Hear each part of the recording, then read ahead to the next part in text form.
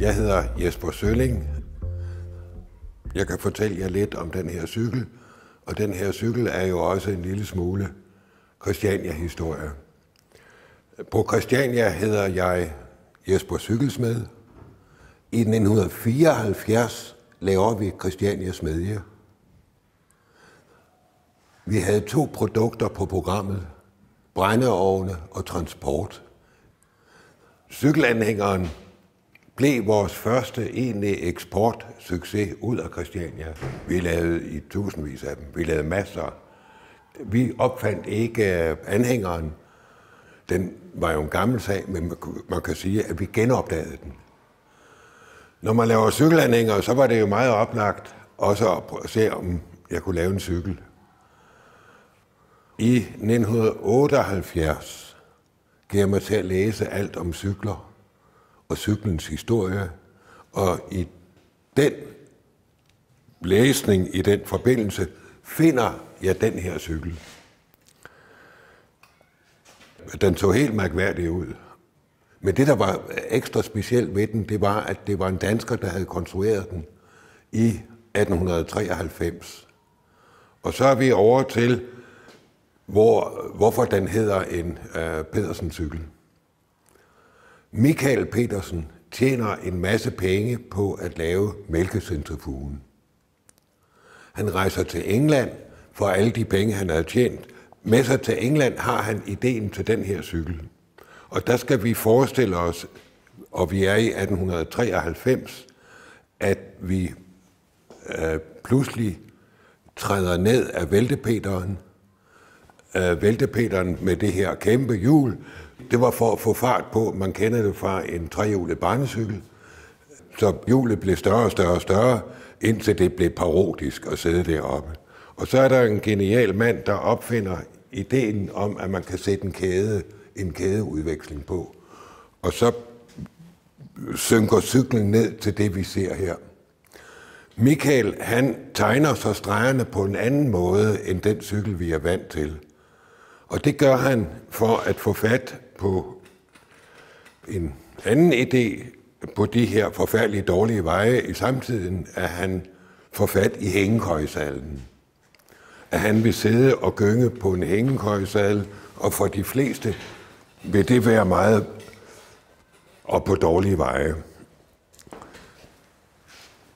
Han, Michael, producerer den her cykel fra 1893 op til udbruddet af 1. verdenskrig.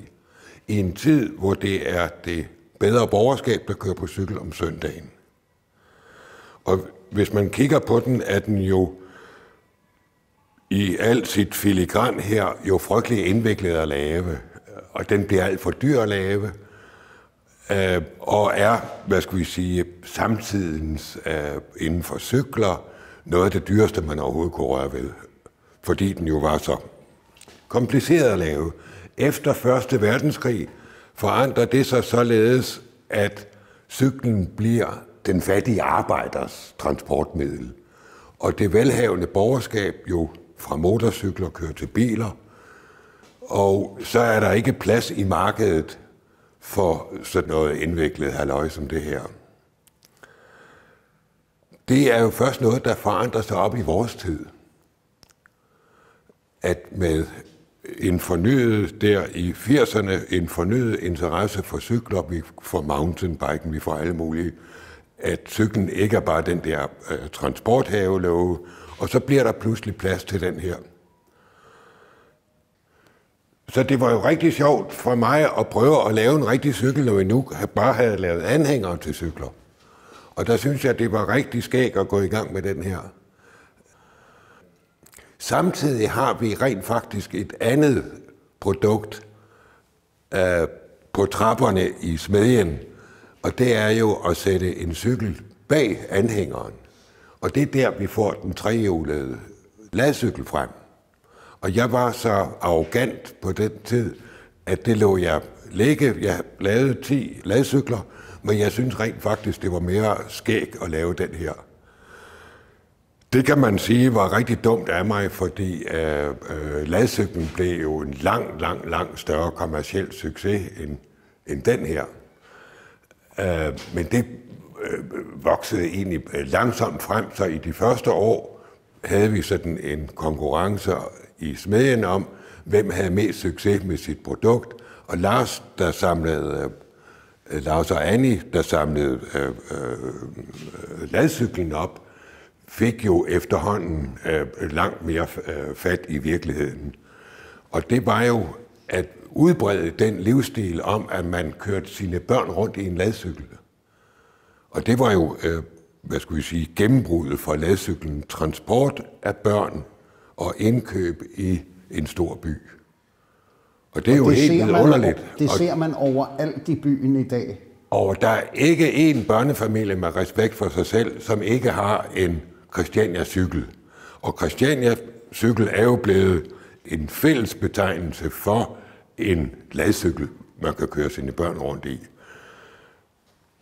Den her blev oprindeligt kaldt Christiania-cyklen, men Christiania-cyklen flyttede sig over til ladcyklen. Jeg vil dog sige, at jeg havde en hel del gode år med den her. Efter 20 år på Christiania, synes jeg, at jeg havde så meget gang i min butik. Jeg bor på Christiania fra 1971 til 91. I 91 flytter jeg fra Christiania, for jeg ikke synes, jeg havde plads nok, og tænkte, nu skulle jeg fandme være en stor cykelfabrikant, og øh, købte en fabrik, en lille fabrik nede i Svendborg, og det gik mig rigtig godt op igennem øh, 80'erne, 90'erne.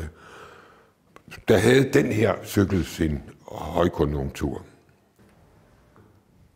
2008 taber jeg det på gulvet.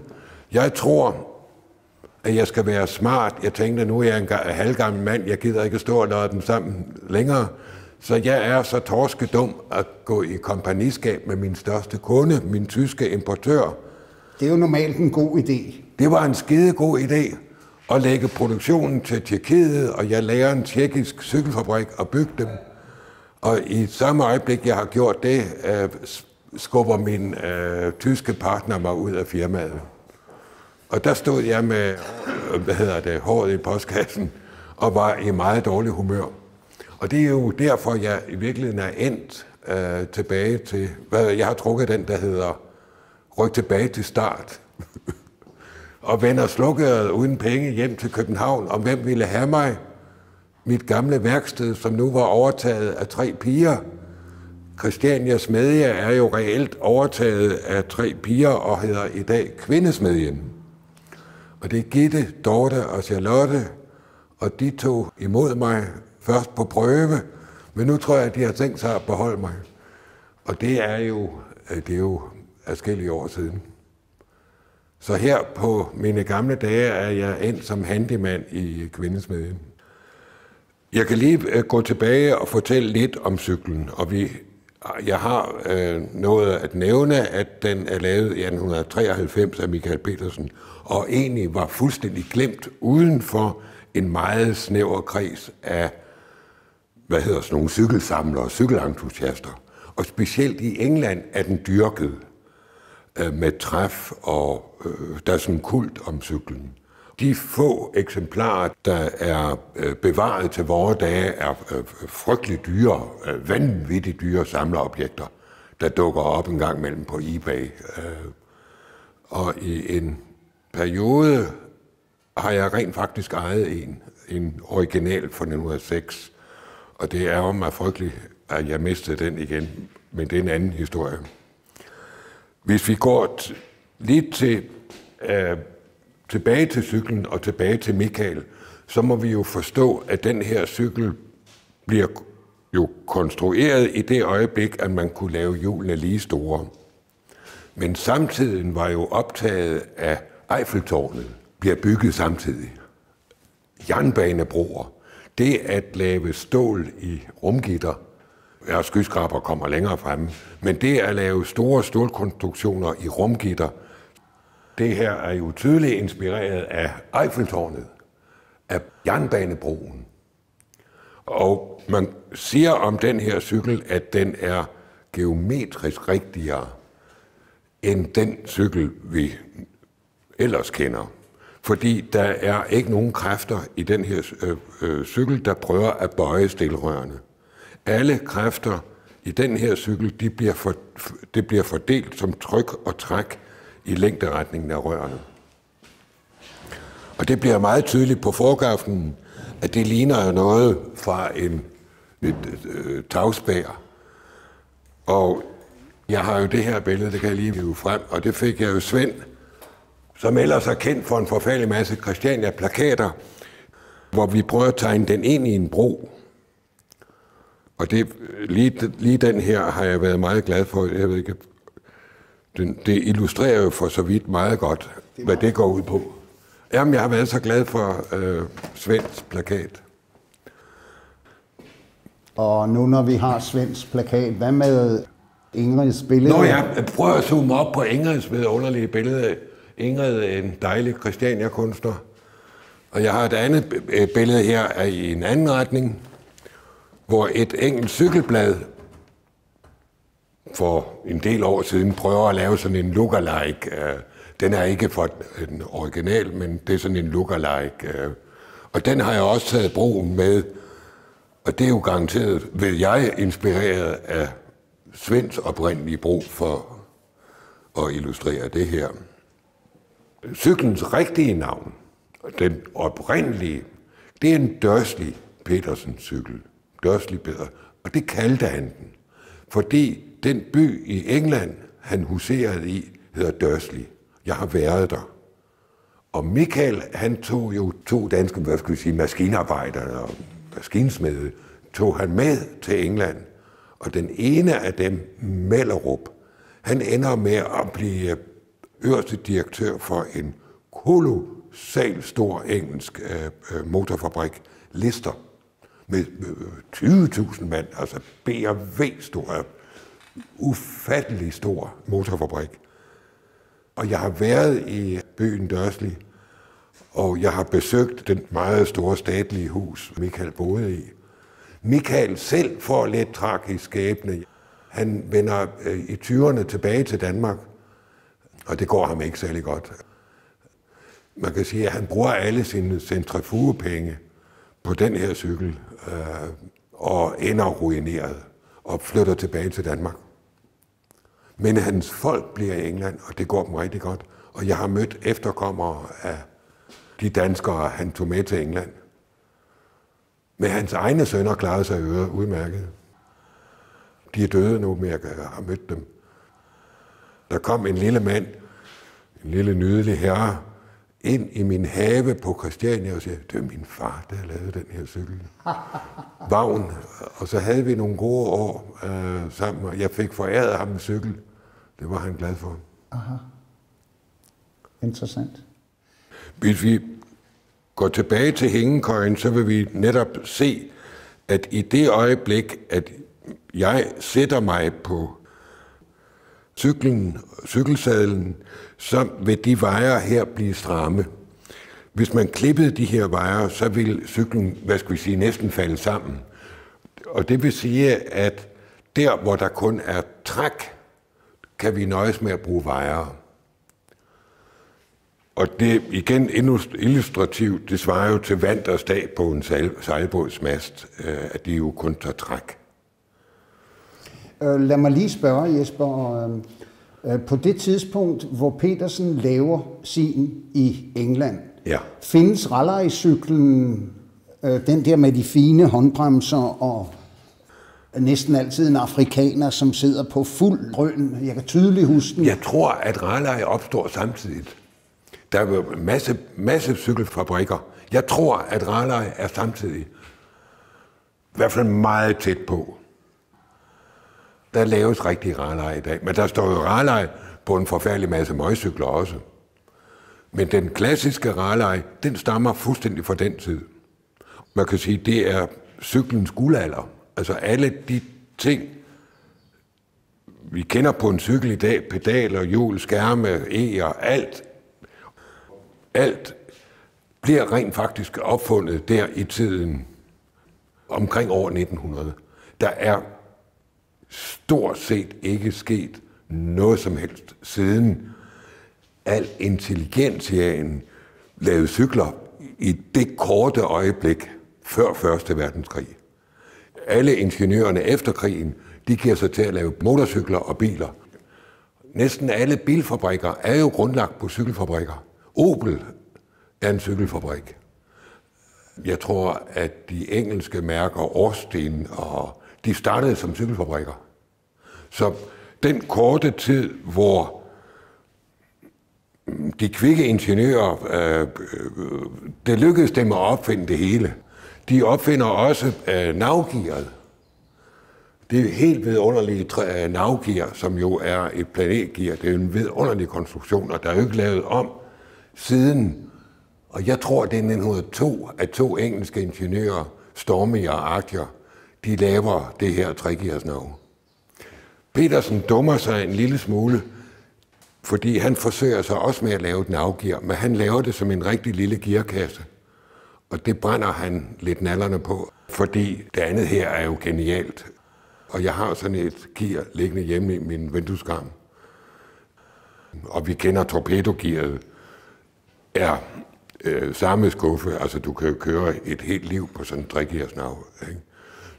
Man kan sige, at hvad der er sket inden for cykler, ja, det er, at det lykkedes vore dage japanerne at stoppe endnu flere gear ind i sådan et nav. De har syv og otte gear ind i navet. Men princippet er for så vidt det samme. Et gear, der bliver opfundet i 1902. Vi har jo lavet en filial uden for Christiania i de her fantastisk flotte rum. En gammel elevatorfabrik lige herovre på Christianshavn. Og der tænkte jeg, ej, sikke flotte rum sikke fantastiske muligheder, og jeg havde nogle af mine gamle maskiner med i drejebænken, købt en lille fræser. Så jeg tænkte, ah, skal jeg lige se, om jeg kan prøve at starte den her cykel igen. Og den her cykel, den er lavet i det her værksted, lige præcis her, hvor vi står. Er det den første? Nej, Nej den første står her ulakeret. Det var prøvemodellen, om det kunne lade sig gøre. Og det kunne det godt. Og så har jeg lavet en serie på te, og den første af dem, jeg sælger, har jeg jo solgt til dig, Erik. Jeg er meget glad for den. Ja. Jeg er meget glad for den. Og der hænger lidt stel til overs derovre. De er til at montere. Og der holder en over i kvindesmagen. Og jeg dør ikke, hvis uh, det ikke lader sig gøre. Men det vil være skæg i en lille skala at gå i det her meget hyggelige hjørne og lave lidt stel og sælge dem efterhånden, som det nu øh, går. Jeg har brugt rent faktisk en forfærdelig masse timer på, på at nå frem til det her. Jeg har lejet en hel del med sadlerne. Og du er jo nærmest testpilot for mig, Erik, så du skal hjælpe mig med at udvikle sadlen. Sadlen er fantastisk. Nå, det var dejligt at høre. Sadlen er simpelthen fantastisk. Nå. Den gamle sadel, som jeg så gudskelov har fået igen, min stjålne cykel har jeg jo fået igen, så jeg har ja. en derhjemme, og så har jeg en her på staden. Og øh, ja, her på staden, det er som om ja. vi er her, fordi du er her, men ja, ja. vi er som sagt i elevatorfabrikken. Øh, øh, ja, men jeg, jeg er meget, meget glad for den der. Den gamle, der kunne jeg godt, da jeg cyklede over til, da du var flyttet til Djursland, med fabrikken, der cyklede jeg jo øh, ja. over på Petersen, ikke? Ja. Og kæft, der fik jeg ondt i røven, altså. Nå, jeg har brugt en hel del tid på sadlen, og jeg har prøvet at bruge sådan noget fint kernleder, og jeg har brugt en forfald masse tid på at lære mig selv at presse det. Det jeg jo øh, prøver at efterligne i virkeligheden, det er jo sådan en brugsadel. Ja, ja. Og jeg har lidt bedre fat i den. Så jeg har brugt forfald masse tid på den, og jeg og det hele er jo skåret ud med hånden, så jeg jo stadigvæk kan lege med, øh, med størrelse og former og sådan noget på den. Den er sådan lidt bredere her bag til, og så bliver den øh, lettere og lidt øh, smallere. Altså, jeg sidder simpelthen bedre på Nå. den.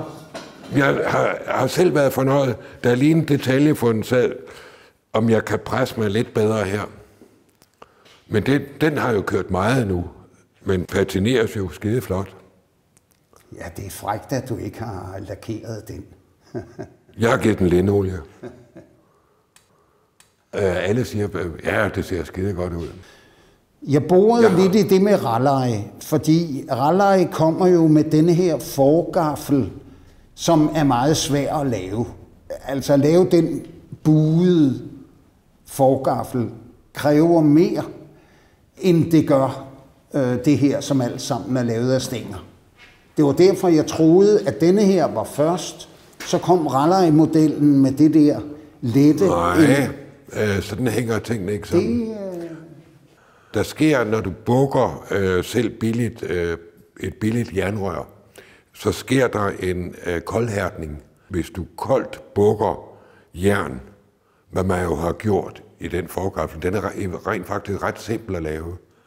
Aha. Der sker en hærdning. Det er meget simplere at lave end det her. Mener du det? Ja. Og der sker en koldhærdning af stålet, så den øh, får en lille affjedring. Jamen, ville du kunne lave sådan en forgaffel i sådan et øh, værksted her? Ja, ja, og ja. Du bukker der over en, jeg var lige ved at sige en træskabelon, men en skabelon, jeg sagtens vil kunne lave. Øh, for det skulle blive rigtig pænt, skal det være konisk rør. Og rør kan jeg ikke, kan jeg ikke lave konisk, men jeg kunne få det lavet øh, konisk. Jeg kunne godt bukke det. Og, og det ligner jo alle de buk, jeg har også lavet cykelstyr, det ligner jo alle de buk, der ligger i en cykelanhænger. Det er der, vi lærer øh, koldhærdningen. Øh, stålet bliver stærkere, molekylerne bliver strukket en lille smule, så der sker en koldhærdning. Det er ikke særlig indviklet at lave. Okay. Og en ideel forgaffel, den bør rent faktisk have lidt fjedervirkning. Hvorimod den her er absolut stiv, og det kunne du også mærke i hænderne på brosten. Man sidder, bliver siddende i sadlen på brosten, men øh, styret øh, hopper mere end en klassisk cykel, som vil fjedre en lille smule ude i forgaflen. Det her er jo stift. Absolut stift. Ja, ja.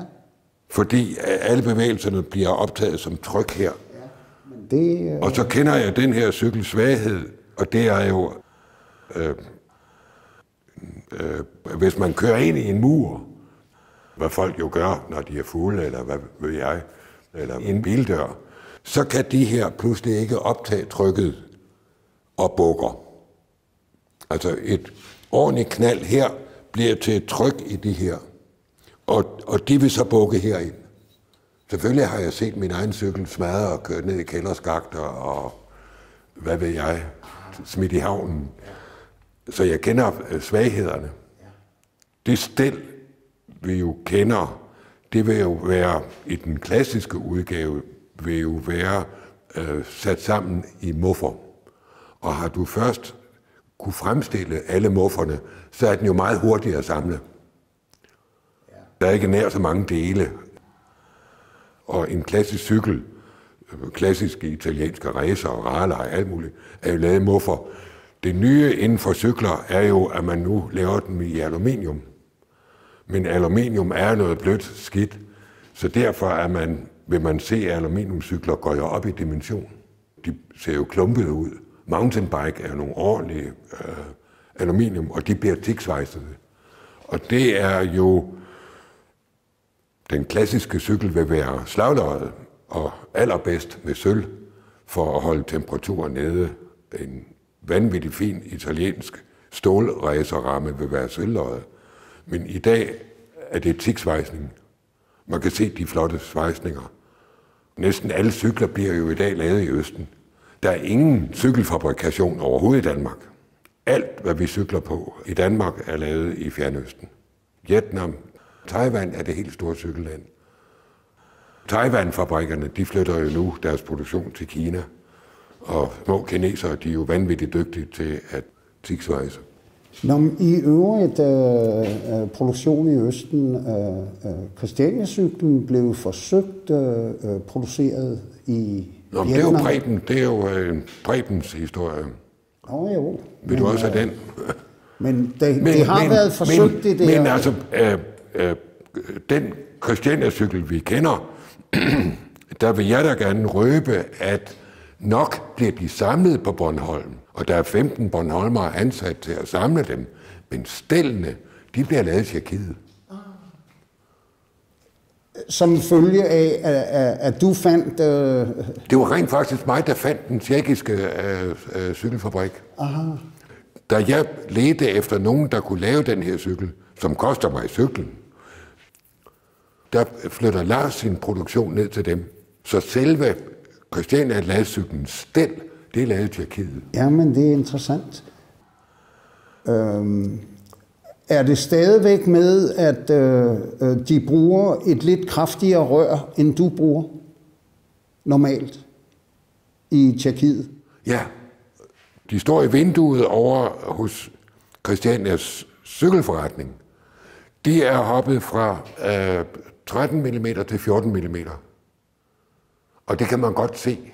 Og når jeg har lavet de her cykler, så er det rent faktisk nogle rør, jeg havde til års fra min produktion, jeg har gået og gemt lidt på. Og det vil også være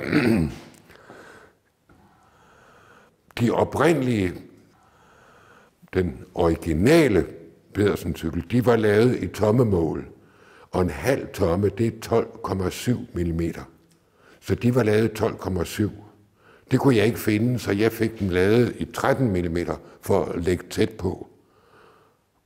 Og den bliver en lille smule klumpet i 14 mm, men 14 mm er nemmere at, at købe. Altså, det ligger i rørfabrikkers program. Men jeg kan ikke købe det i Danmark. Øh, jeg har undersøgt det. Aha. Så det er endnu en vanskelighed, hvis jeg skal fortsætte produktionen, vil være, at overhovedet skaffe rørene. Selvfølgelig kan jeg skaffe rørene, men så skal jeg købe, øh, jeg ved ikke, hvor mange tusind meter. Der var da jeg også... lavede de her, øh, da jeg lavede dem oprindeligt, der købte jeg 2.000 meter ad gangen. Aha. Og det var dyrt rør. Det er et, øh, hvad hedder det, et øh, sømløst rør. Ja. Så det Ja, du havde også spekulationer om øh, rustfrit øh, stål. Ja, jeg havde en, øh, da jeg startede her igen, øh, fik jeg pludselig den idé, at det kunne være sjovt at prøve at lave det rustfrit. Jeg måtte opgive igen. Det var en, øh, et fejlspor. Øh, men vi købte jo en tigger, den bruger vi så til noget andet. Øh, men det var et fejlspor. Øh, det er meget mere behageligt og slagløjet. Jeg kan godt lide at slagløjet. Og rustfrit... Mm. Jamen, hvordan skulle du have samlet uh, rustfrit? Det, ville, det skulle tiksvejses. Før det for vidt at, at fortælle om tiksvejsning. Men tiksvejsning er en elektrisk flamme, hvor du så tilføjer dit tilsatsmateriale med den anden hånd. Altså du har en elektrisk flamme, og i, ned i den flamme kommer du med tilsatsmaterialet, og det kræver meget rutine. Og de er vanvittigt dygtige til det. Kineseren. Nu øh, nåede vi næsten i mål, øh, Jesper, ja. og øh, jeg vil godt sige dig tak for, at Nå, det var skægt med, det, med det sidste tak. her.